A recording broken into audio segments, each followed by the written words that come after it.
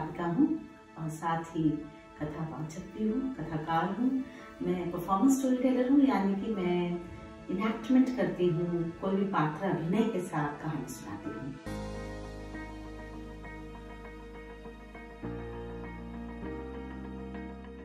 ये शुरू तब हुआ सिलसिला जब मैं अपने स्कूल में बच्चों को पढ़ाने लगी तो हिंदी तो पढ़ाती थी। तो कहानियाँ तो साथ चलती हैं पर एक दिन ऐसे ही फेसबुक अभी नया नया ही शुरू हुआ था, जिसमें पता लगा कि स्टोरी टेलर भी कुछ होते हैं। मैंने ये क्या है? तो जब मैंने उसको भापा तो वो तो मैं सालों से कर रही हूँ स्कूल में। तो फिर मैंने इसको as a professional story teller के रूप में अब मैं निकल के आई हूँ। तीन चार साल हुए, लेकिन बहुत अच्छा लग रहा है। बहुत से लोगों से मिल रही हूँ, कहानियाँ और पढ़ रही हूँ और ज़्यादा से ज़्यादा सीखने की कोशिश स्वयं की ही होती है। कि और कैसे और बच्चों तक पहुँचा जाए, क्योंकि बच्चों को कहानियाँ सुनाने वाले अब कम हो गए हैं।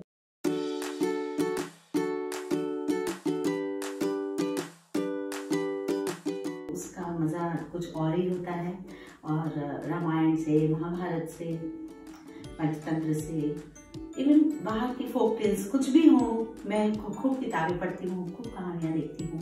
और उसके बाद अपने हिसाब से उसको हिंदी में करना पसंद करती हूँ।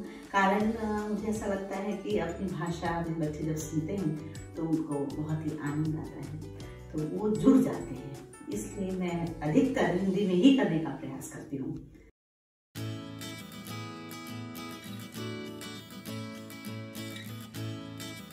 जैसे कि मैंने पहले कहा, मैं स्कूल में अध्यापिका हूँ, लेकिन उससे पहले की बात बताऊँगी तो सब हैरान होंगे। कि मैं बहुत ही सब कुछ जानती थी, किसी के सामने आती नहीं थी।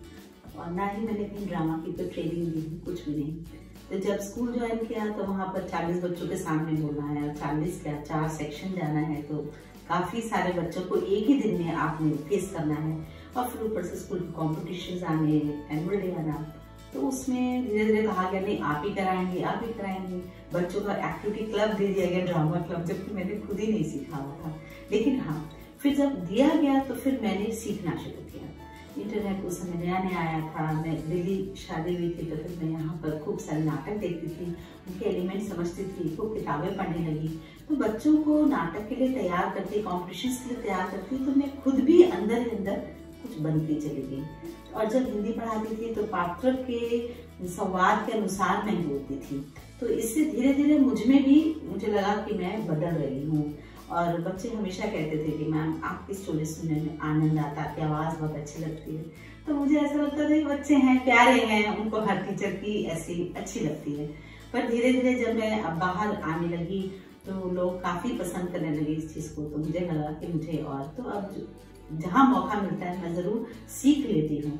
तो जितना सीख लें तो उतना ही हम और बेहतर होते जाते हैं और आगे मेरी परफॉर्मेंस में फ़र्क पड़ता जाता है।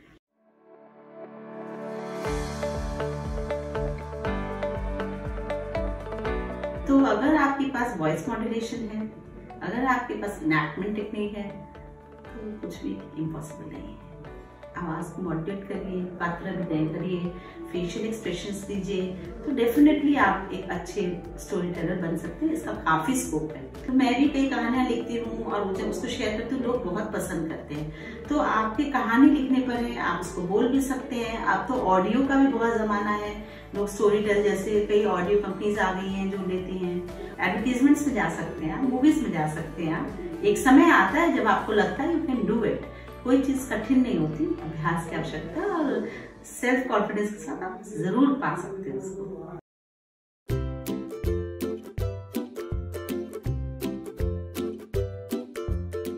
अपॉर्चुनिटीज़ देखिए बनानी पड़ती है। सीधी बात है, आर्ट है ये भी।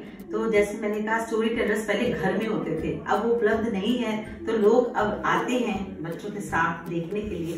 पर अभी ये चैलेंजेस हैं कि पीपल फील कि ये स्टोरी टेलिंग ही तो है। ये तो घर में ही हो जाता है, या बातों बातों में ही हो जाता है तो दे डोंट पे मच तो पहले तो आपको पैसे जल्दी मिलेंगे, ये उम्मीद नहीं करनी चाहिए।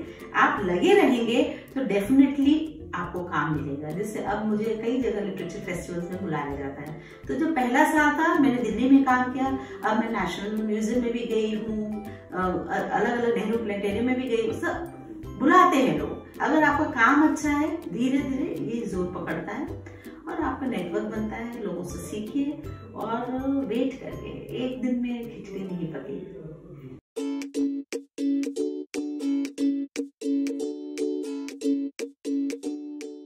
ऐसा है कि मेरा एक चैनल है, जिसमें मैं रीड अलाउड सेशंस भी करती हूँ स्टोरीज भी इनैक्ट करती हूँ। मेरे कई लाइव शोज़ उसमें हैं और मैं हिंदी को बढ़ावा देने के लिए, मात्राओं पर भी काम करी, जिसमें भी स्टोरीज हैं। तो इस तरह से काफ़ी लोग उसको पसंद करते हैं उसका लाभ उठा रहे हैं। इसी तरह मेरा फेसबुक पेज है एज वेल एज मेरा अपना प्रोफ़ाइल पेज भी होता है। बहुत से फ्रेंड्स बहुत लोग हैं जो अब उसको पसंद कर रहे हैं। मेरा इंस्टाग्राम पेज भी है, मेरा ब्लॉगिंग सब कुछ है। इससे मैं हर एक चीज़ को, मेरा वेबसाइट भी है उषा चावल डॉट कॉम तो मैं हर प्लेटफॉर्म को यूज़ करना चाहती हूँ, जिससे कहीं ना कहीं से लोग आते हैं। और डेली स्टोरी टेलर्स में मेरा नाम पहले आता है। तो मुझे ये जानकर खुशी है कि लोग ईमेल के थ्रू मुझे, मेरे वेबसाइट के थ्रू आ जाते हैं और पूछते हैं मेरे बारे में। तो मेरी पैट अब बनने लगी है, मुझे अच्छा लगता है इस बारे में, क्योंकि अभी प्रोफेशनली आप बोले तो मेरे को चार साल हुए हैं। हालाँकि तेईस साल से पढ़ा रही हूँ, कर यही काम रही थी, पर इसको मैंने अलग रूप दिया उसको। तो तीन चार साल में अच्छा बिल्डअप हो गया है और सारे प्लेटफॉर्म्स में यूज़ करती हूँ।